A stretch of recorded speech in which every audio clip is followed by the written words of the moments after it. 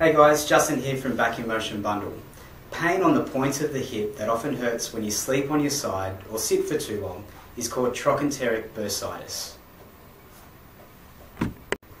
Let's take a look at our skeleton. This section of your thigh bone is called the greater trochanter. This is where a number of muscles in your buttocks come in to attach. Okay, that point there. Sitting between the greater trochanter and these bottom muscles is the trochanteric bursa. A bursa is a fluid-filled sac whose job it is is to decrease the friction of all the muscles as you do activities such as walking or going upstairs. A primary reason this bursa gets inflamed is because of tight bottom muscles. If these bottom muscles are tight, that's going to compress the bursa. Another reason is poor pelvic stability.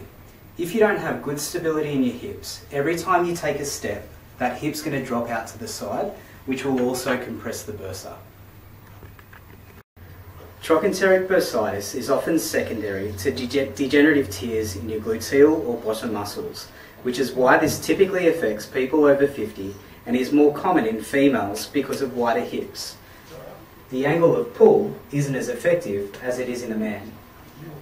So what we need to do here in physio to help with this is release the muscles in your glutes and the muscles down the ITB. And once that pain's under control, improve the strength and stability of the glutes.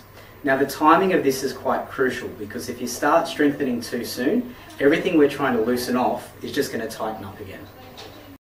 So if you or a friend suffer from hip pain, take advantage of our free initial assessment by calling 5592 4141 and get yourself back in motion.